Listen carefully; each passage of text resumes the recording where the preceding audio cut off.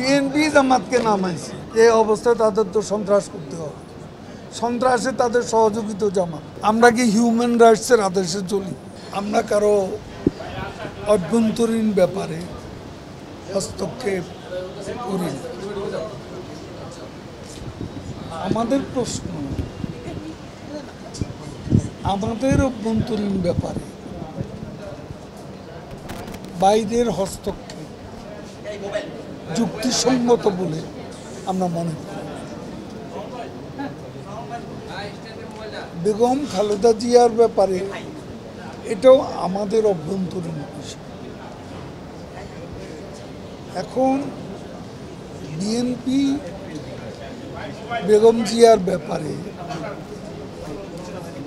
তার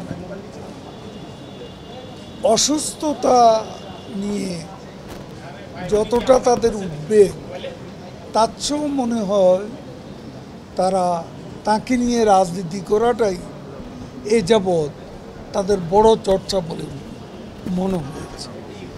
তাদের পলিটিক্সটা তারা তাকে নিয়ে করেছে। যখন তার এই বিচার কার্য সম্পাদন হচ্ছে, তখন অহেতু বিলম্ব প্রলম্বিত করা অনুপস্থিত থাকা বিচার কার্যকে বিলম্বিত করেছে।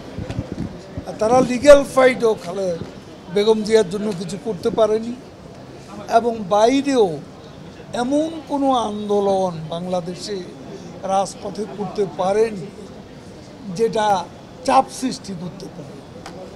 তা এখন বিষয়টা আমাদের আইনমন্ত্রী এবং স্বরাষ্ট্রমন্ত্রী ডিল করছে তারাই উচ্চ পর্যায়ে কথা বলছে। এরকম কোনো এবং তার ব্যাপারে অন্য করা প্রয়োজন, এটা আমার মনে হয় যে পর্যায়ে আলোচনাটা হচ্ছে এবং যে পর্যায়ে এটা তার পরিবার থেকেও আবেদন দেওয়া হচ্ছে। এবং সেই পর্যায়ে এই বিষয়টা সে দুইজন সংশ্লিষ্ট মন্ত্রী তাদেরকে জিজ্ঞেস করলে জবাব দেবে। জামাতে ইসলামের ব্যাপারটা তো উচ্চ আদালতে আটকে আছে। সেখানে কোনো চূড়ান্ত সিদ্ধান্ত হওয়ার আগে সরকার তো ডিরেক্টলি এখানে হস্তক্ষেপ করতে পারে না। যেহেতু সেখান থেকে কোনো নিষেধাজ্ঞা আসে না। তবে আদালতে লিগালি লিগ্যাল ব্যাটেলে জামাতে ইসলাম দল হিসাবে তাদেরকে নির্দিষ্ট নিষিদ্ধ করার ব্যাপারে একটা দাবি আছে। তো সে ব্যাপারে তো আইনমন্ত্রী বলেছেন ইলেকশন পদক্ষেপ নিতে বিএনপি জামাতকে নামাইছে। তারা ইলেকশনে ইলেকশনে যাবে না এই অবস্থায় তাদের তো সন্ত্রাস করতে হবে। সন্ত্রাসে তাদের সহযোগিতা জামাত আমরা কি হিউম্যান রাইটসের আদেশে চলি? তাদের তাদের প্রেসক্রিপশন অনুযায়ী আমরা চলি।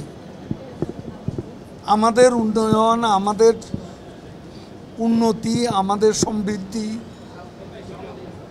আমাদের ডিজিটাল বাংলাদেশ, আমাদের এখনকার স্মার্ট বাংলাদেশ, এসব পরিকল্পনা কি তাদের কথাই করি? আমরা তো এগিয়ে যাচ্ছি। বাংলাদেশ তো এগিয়ে যাচ্ছে। আমি যে মিনিস্টার সেখানে কত উন্নয়ন হয়েছে দেখুন। একটা বিষয় আমাদের ঘাটতি আছে, সেটা নিয়ে আমরা এখন ওয়ার্ল্ড ব্যাংকের সহযোগিতা নিয়ে আমরা রোড সেফটি এটা আমাদের একটা দুর্বলতা, সেটা কাটানোর জন্য আমরা আমরা তো আমাদের দেশটার জন্য সর্বতভাবে চেষ্টা করে যাচ্ছি। এখন বাইরে বিষয় নানান হস্তক্ষেপ থাকে এটা নানান কারণও থাকে। আমার মনে হয় প্রত্যেকেরই নিজের চেহারাটা আয়না আগে দেখা